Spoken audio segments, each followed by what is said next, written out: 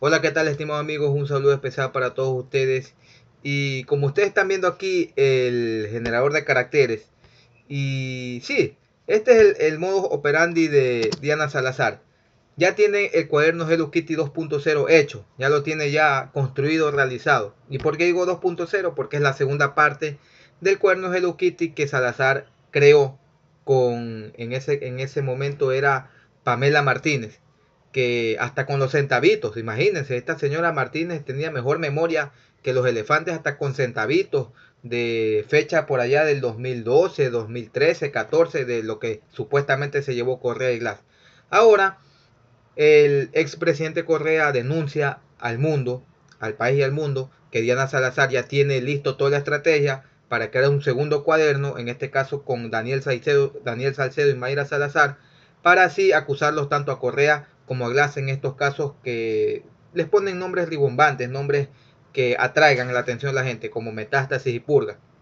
Así es, ya está, ya está la operación lista, ya está todas las declaraciones, ya está todo trabajado con los abogados para que a Salcedo y a Salazar le den esa misma beneficio, ese mismo beneficio que le dieron a Laura Terán y Pamela Martínez. Denuncia, acusa a Correa y te damos un año. Y en un año ya sales libre con todo el dinero que te robaste. Vamos a mostrarles lo que dice Correa.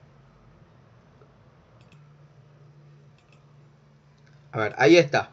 Vamos a leer lo que dice Correa. Abro comillas. Para que estén listos. Es muy creíble porque es la forma de actuar de Diana Salazar. Me informan lo siguiente. Economista, buenas noches. El abogado Diego Córdoba, que ha sido defensor del señor Salcedo en el caso Metástasis, ha tenido una reunión con la fiscal Salazar para acogerse a colaboración eficaz y obtener protección. Al indicar que Salcedo tenía datos de haber dado dinero a muchos funcionarios de la Corte Provincial de Justicia del Guayas, la fiscal Salazar le ha dicho que no, que eso no le interesa. No olvide subrayar esto, les repito. Salcedo tiene información de que le ha dado dinero a muchos funcionarios de la, de la Corte Provincial de Justicia del Guaya y Salazar le ha dicho que eso no le interesa, sino que Salcedo debe involucrar a Rafael Correa y a Jorge Glass, lo cual el abogado Diego Córdoba ha dicho que el señor Salcedo no tiene nada que decir contra los dos y lo ha sacado de la Fiscalía General. Ahora, Salazar le ha dado a este Salcedo un abogado de nombre Renato y que ahora está en defensa del caso Purga. Por eso, ahora, ahora han suspendido la declaración de mañana y finalmente este tipo Salcedo ha accedido el pedido de la fiscal Salazar para involucrarlo a usted economista y al ingeniero Jorge Glass. Vamos a analizar esto. A ver, el Salcedo todos sabemos que está preso, ¿no? Por lo del IES, por la pandemia, etcétera, y ahora por el caso de que este tipo le pagaba a los jueces y demás con Salazar para obtener sentencia favorable.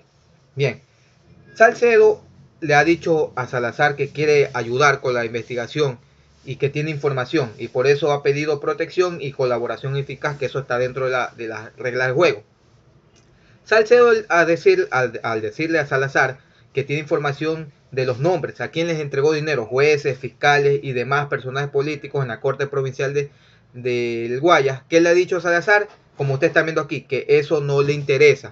Así es. Es decir, vean, Diana Salazar no es una fiscal que busca la justicia, que busca la verdad. Y aquí está, aquí está este, confirmado. No le interesa a Diana Salazar eh, los nombres de quienes recibieron dinero de esos jueces o fiscales corruptos, sino que le interesa a Salazar que Salcedo invente, mienta para involucrar a Correa y a Glass.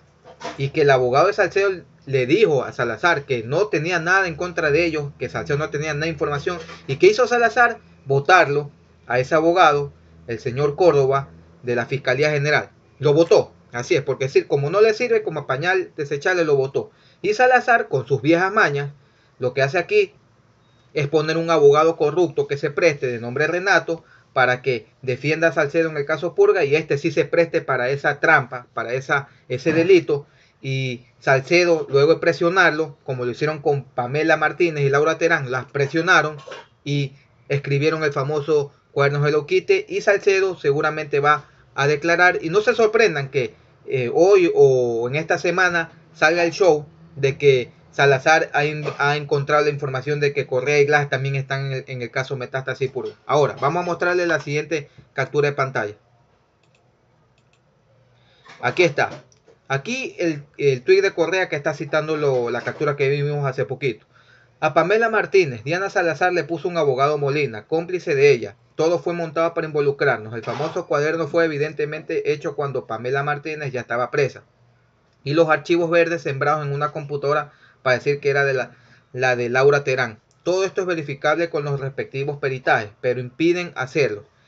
Vean, esto lo que dice Correa tiene relacionado o tiene relación con el caso Soborno que lo sentenciaron a Correa por el influjo psíquico y el cuaderno Hello Kitty y los poderes mentales. Así es, todo lo que dijo Don Villa, hay que recordar, Don Villa, Salazar y demás acusadores en contra de Correa, que el cuaderno de, de Hello Kitty, Pamela Martínez, los archivos que estaban ahí sembrados en la, en la lacto, supuestamente el acto de, de Laura Terán, disculpen, todo eso era verificable con los respectivos peritajes, así es, los peritos.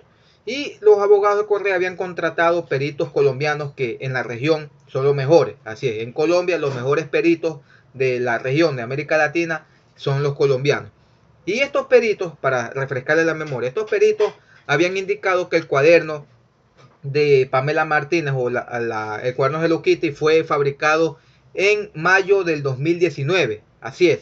Y supuestamente Salazar había indicado que estos valores los había escrito Pamela Martínez en el año 2002. Por eso le habíamos dicho que ese cuaderno Hello Kitty tiene que darle el premio Nobel de la Física, porque un cuaderno creado, fabricado en el 2019, viajó al pasado, en, al año 2012, y en el 2012 regresó al, al presente, es decir, al futuro y luego al presente, para que se den cuenta. Y además, el tema de que este, los archivos sembrados en una lacto de Laura Terán, los peritos colombianos habían indicado que esos archivos habían sido modificados, habían sido distorsionados, editados y que no eran originales.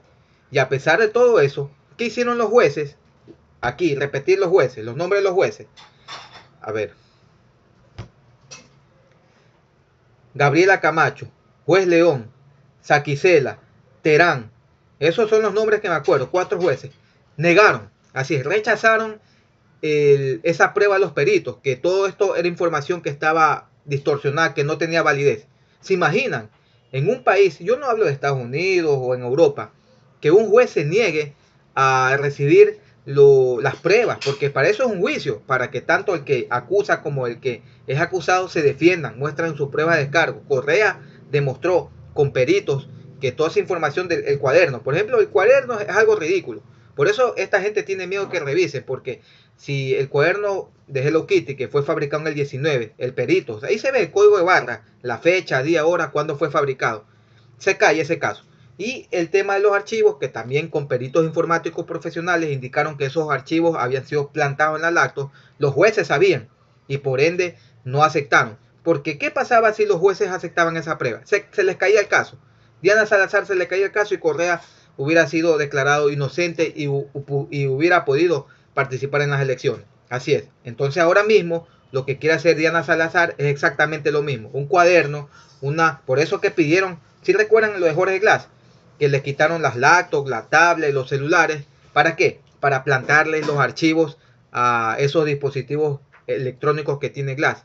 Y ya está todo listo, ya está todo preparado por el tema de, de Salazar con este señor Molina, que es un abogado que se ha prestado para esta sinvergüencería para echarle la culpa a Correa. Así es, este es el show. Y los verdaderos problemas, vean lo que sucedió en, Durán. Esta niña dentro de su casa, este estudiante por quitarle la, mochila, en Manta, en un circo, un espectáculo familiar que van eh, niños, van padres de familia con sus hijos, van gente de la tercera edad, van este, señoras embarazadas. Le dieron vida este, a esta, este asambleísta alterno. Estos casos son de verdad.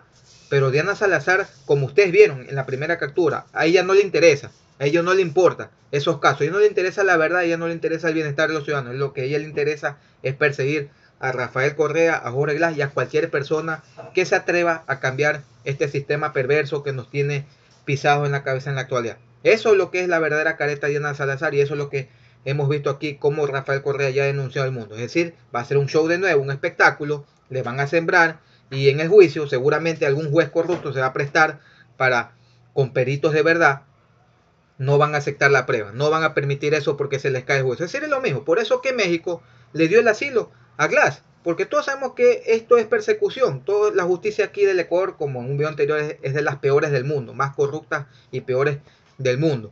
Entonces ahí está, ahí está la verdad. Incluso para los trolls de cartón, los, fanáticos de la secta de cartón que todavía están enseguecidos pensando que es Correa. Es todo esto, no. Es mentira, pruebas falsas, por eso no aceptan. Les tienen miedo, tienen un horror, les comienzan a sudar helados si dicen la palabra revisión. Porque si revisan, un juez de Estados Unidos revisa esto, se les cae el caso.